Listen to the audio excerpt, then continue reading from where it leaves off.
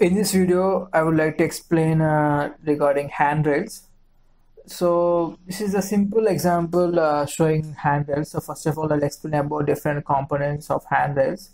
So this one is called uh, top rail and uh, it is called uh, knee rail or uh, mid, mid rail and toe plate. It is will come in this area and in this figure it is not shown but toe plate is this one in this area we find the toe plate so the top member of handle is called top rail, middle member is called uh, middle member of handle is called knee rail.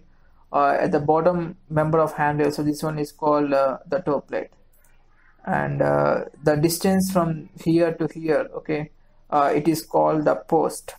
I'll explain in detail uh, regarding handrails in further slides. So this is the complete figure showing different components of a handrail.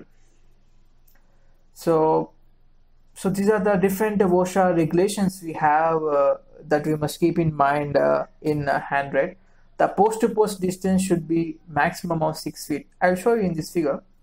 Uh, this is called the post. The maximum distance between the post is uh, is limited to 6 feet as per OSHA regulations and uh, wall hang should be limited to 1 feet to 1 feet 6 inches.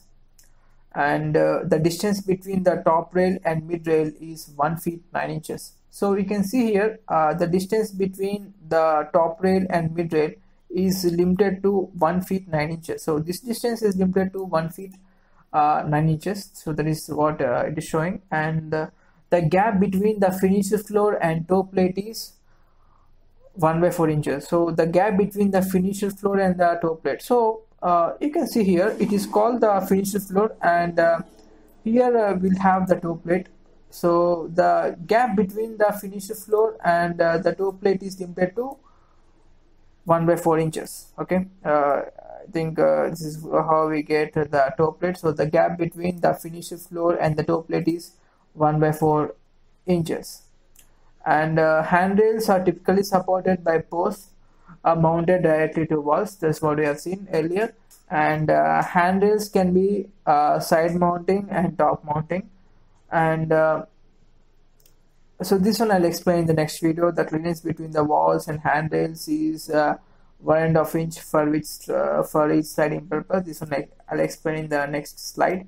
And um, here we can see wall rails are connected to walls with brackets which are brought out items. So these two I'll explain in the next uh, video. So uh, here we can see the clearance between the wall and handrail is one of uh, inches for sliding purpose. So here we can see the gap between uh, this wall and uh, this rail. So this gap must be uh, of uh, one and of inch so that the hand can be moved easily. And these items are there now these are brought out items so th these are just brought out items so we can uh, bring from the shop. So this is what uh, explained in the eighth point. So here we can see the eighth point. Wall rails are connected to walls with brackets which are brought out items. So these are the brackets uh, which are uh, the brought out items okay